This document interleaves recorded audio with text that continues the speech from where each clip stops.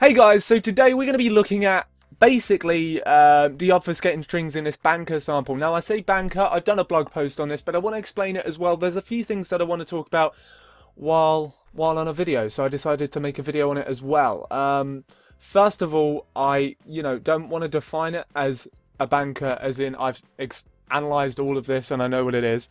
I haven't. Um, the main thing here is that I've searched on hybrid analysis for um, banker, and this is this is what I've got. Okay, so that's the main thing from this. This is also on a remote um, connection. This is on a virtual server, so um, if the resolution looks weird or we're looking a bit different, then that's that's because it's on on something. It's not mine. Um, it's somewhere else in I don't even know where. Um, so we've got this sample, and of course we've got a PDF icon on it because that's how the 2016 went. Really, it just it went like that, and 2017 hasn't been much better. Uh, that's what the sample looks like, and I've I've reached to this subroutine, and basically I didn't really uh, reach to this subroutine. What I did is I actually done what I usually do, which is check the strings, and I found NTDLL on this um, the, a string on that. So I think that's right at the end. As we can see here, this subroutine is ridiculously long. Now I, I comment on my blog post on really this could have been done in a for loop. This this definitely could have. Really, the main body of this is understanding um, some of the inputs that we get. So there's some static strings, and the first thing you would think from this, if we go to the actual sample strings, we're on that module, yeah. The first thing is is that people would look at that and think possibly packed, possibly, you know, weird, sort of not much else strings wise but there is that reoccurring uh, string here, which is eventually the key pool. But we first look at this, maybe in static analysis, you would think possibly packed. Maybe not. You might think, oh, actually, it's obfuscated strings. But, you know, one of the other things you would possibly think is that it's packed. Um, but if you've done some disassembly, you would notice there is something a bit strange about it. There's a call every time to the, the string, and it, it looks to be small amounts of strings that aren't manipulating in different ways. So what we get as well is we get four arguments essentially gets put into this this function. Um, I've called it deobfuscate because I'm inventive. Um, so we've got this, which is you always assume a number 22 on this case, um, and then we've also got what looks to be a number which is I'm not highlighting the correct one. Genius 11. Um, and you might already ingeniously notice that 11 looks to be the length of that and looks to be that looks to be the length of that. And you are correct in some manner. So if we go on to the deobfuscate function um, obviously we've got standards we don't need to worry about that. But we get this. Now I've already called it loop counter because I know what's going on now. Uh, but it is quite obvious if we go down um, so if we have, yeah, if we just highlight loop, loop counter, if we go down to the bottom here, we've got an increment, although this is positioned right at the end and we get the return over here, which is kind of a bit it's not weird, weird, but it just uh, other for loops I've seen, it doesn't look. But anyway, um, so this is the increment right here. We've got move it into EX, add it, and then just move it back. So there's nothing major, like really confusing about this function. Really, we can see already that it is a for loop from the loop counter there, and also the comparison we get from moving it into ECX, comparing it to this number, which is the length of the string input. Um, so the max iteration is what that is being put to.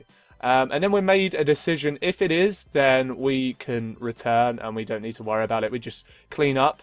Um, and otherwise, we do this operation. And this is the main body. And we already, if you don't know reversing, you're getting into reversing, then this is certainly a good video, I guess, for you. If you're quite seasoned in reverse engineering, you're going to be like, Jack, you're fucking boring. And I'll be like, okay, okay, sorry. I'm sorry.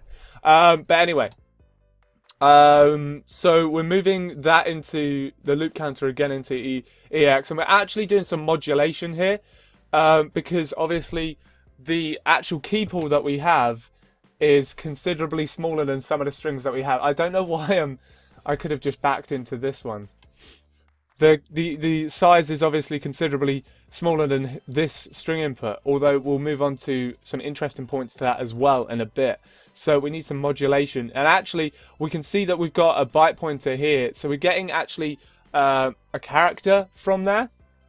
Uh, we're getting a, we're going to get a single character. Um, and then we're going to do the main part of this, which is doing an exclusive or bitwise operation with EAX and ECX. Now, you know, there's there's certain interesting parts to this, which is that the string itself, the string input, is essentially um, there's parts that are malformed or or incorrect intentionally, so that it it comes out as a different operation. So I think the best way to explain it is to say what I've done. So I've created a Python script which I could potentially port into IDA script and although to be honest, it was only sort of a, a exercise for me.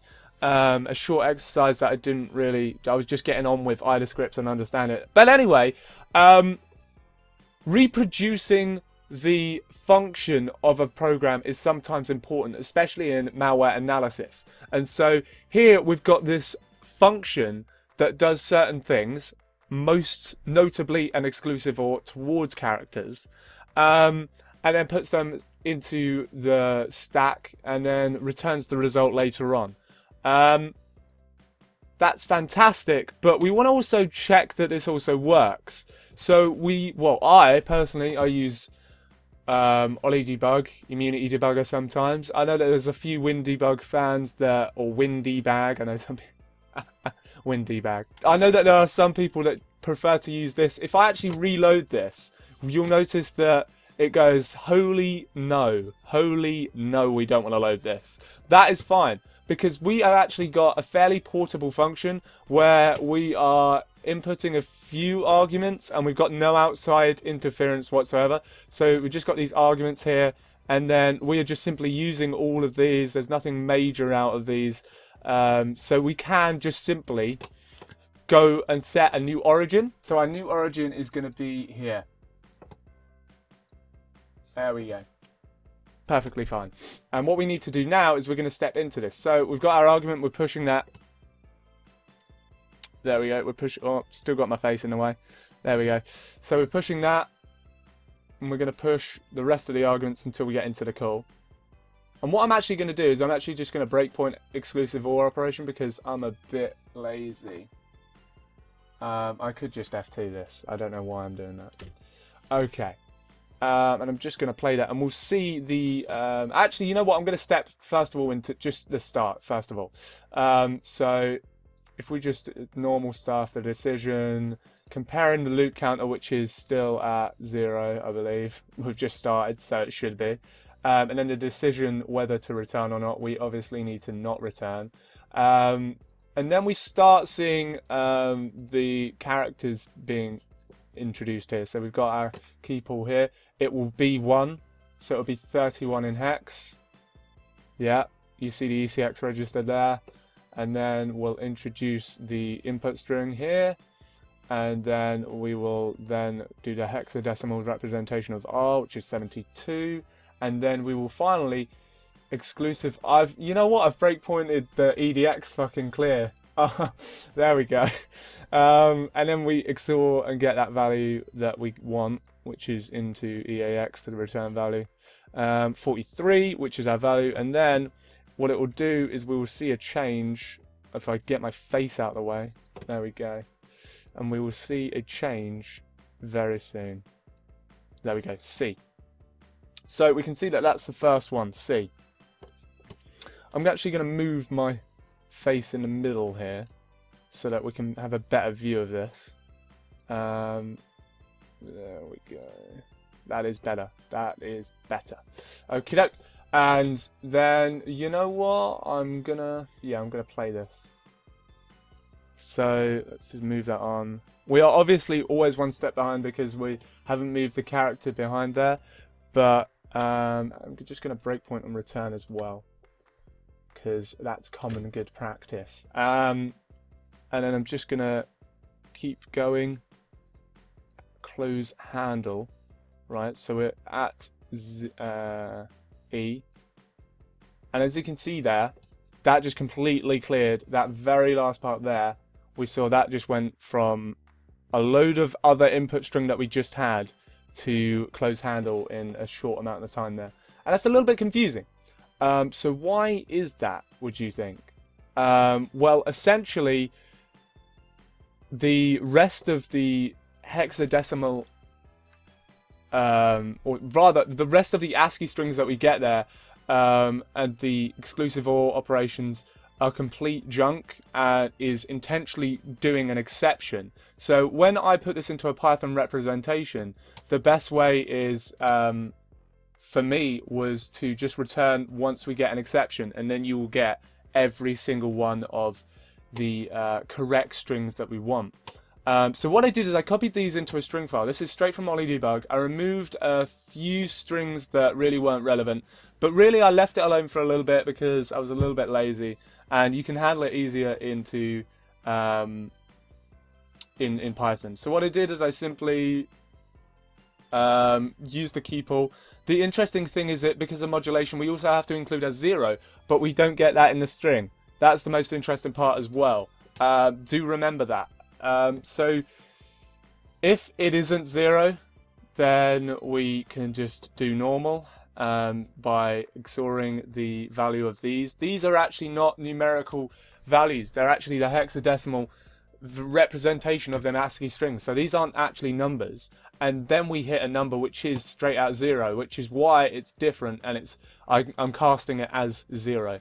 Um, and then basically I'm just making it a little bit cleaner so that we don't have to um, this is to remove it so we can decode the, the hex and then we return it when there's an exception or if it's a very short string you will simply get the hex string which is why you should also return hit the mic um, and then I've just filtered the lines basically opened it up done a function where we're doing a for loop on every single line if it is uh, just clean it up so that we only get the the string input that we want. If it's not the key pool, then let's try and deobfuscate it. And the result is quite good. We get... That is. Oh. You know what? It would it would have been great if I remembered that it was sample XOR, not XOR sample. There we go. And of course, we've got our deobfuscated strings in the correct way. If I remove the error handling, I will get exceptions because parts of these are not what we want to see um, they will go wrong. So that is something that I think I should wanted to show basically. Short little um, introduction into what I've been, you know, what something that I did for uh, like an evening. Um, so hopefully you enjoyed it. A little bit insightful, maybe not. I don't know. Um, but hopefully it was it was fairly interesting for you guys. Um, if you did, if you liked it, give it a like. Comment down below. Um, there are loads of things that I could do, like the, the rest of the BEPS exploit, exploit kit samples and stuff like that. But at the moment, I don't know. It, it's just a lot of people are on and off with it. So I'm, I'm deciding what sort of content I should provide. And I thought this was an interesting one that I, I should I should provide really. So hopefully you enjoyed it, and I'll see you guys next time.